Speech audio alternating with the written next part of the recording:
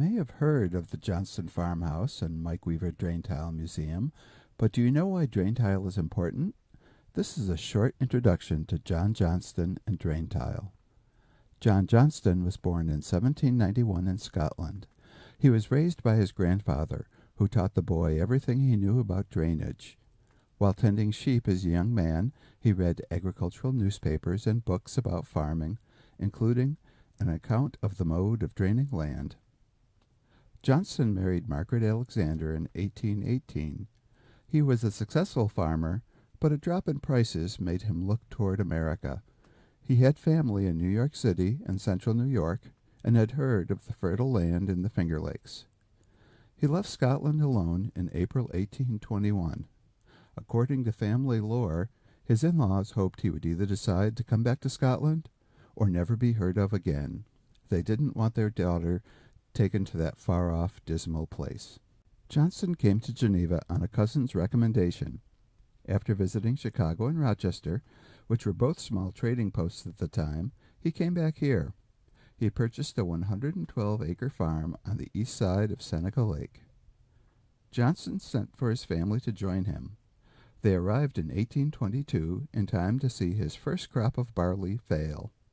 He quickly took steps to improve his land. The farm he purchased had years of rotted manure that had never been put on the land. He hired a man with a cart to spread the manure, and Johnston plowed it under.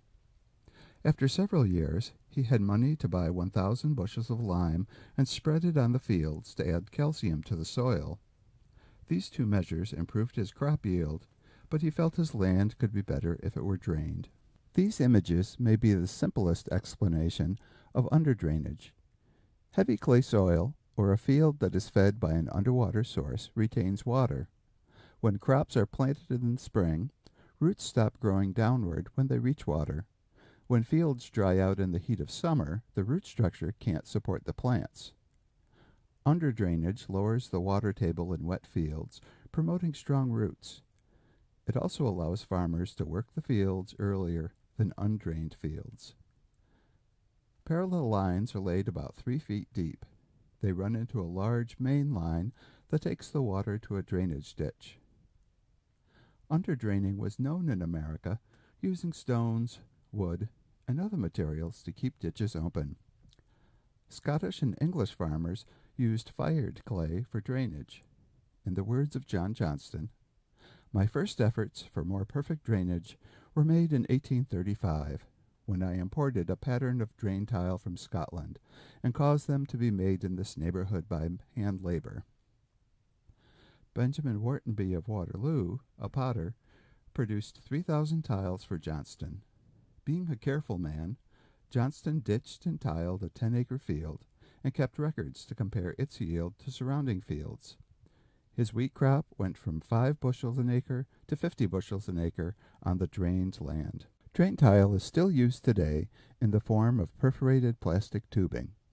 If you drive past a farm field and see a pipe draining into an open ditch, that's drain tile at work.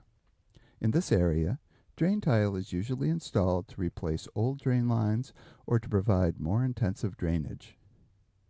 The Johnston House and Mike Weaver Drain Tile Museum are open on weekends from May 1st through October 31st. The house has been restored to its 19th century appearance, and the museum has a detailed history of drain tile. For more information, go to www.genevahistoricalsociety.com.